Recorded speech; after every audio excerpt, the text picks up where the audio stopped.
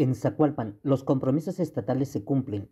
Uno de ellos es la pavimentación de la carretera de Zacualpan hacia Tlachichilco, una carretera que por décadas los habitantes de esta región marginada solo habían recibido promesas de gobiernos en turno.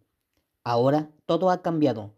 Gobierno del Estado cumple su promesa de pavimentación carretera, señala Karina Lugo Barrón, alcaldesa de Zacualpan. Como es la segunda etapa de la carretera Zacualpan-Tlachichilco. En la primera etapa, pues fueron 10 kilómetros de concreto hidráulico y ahora son 6.5 kilómetros, en donde es un circuito eh, que eh, tuvimos las pláticas con el gobernador y tuvimos el honor de que iniciara nuestro municipio y hoy la segunda etapa se ve plasmada. Eh, ya concluimos con nuestro municipio, son 4 kilómetros del municipio de Zacualpan y 2.5, 2 más o menos, ya del municipio de Tlachichilco.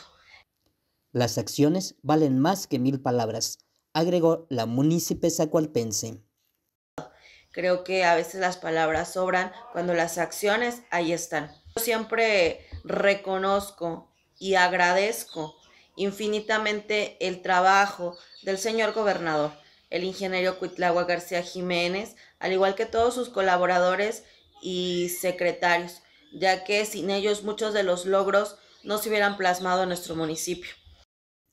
Por último, dijo que la pavimentación carretera beneficia a la zona de la Huasteca Baja y de la Sierra, porque ahora es una realidad, y que gracias al gobierno del Estado se hace justicia social a los municipios de la Sierra.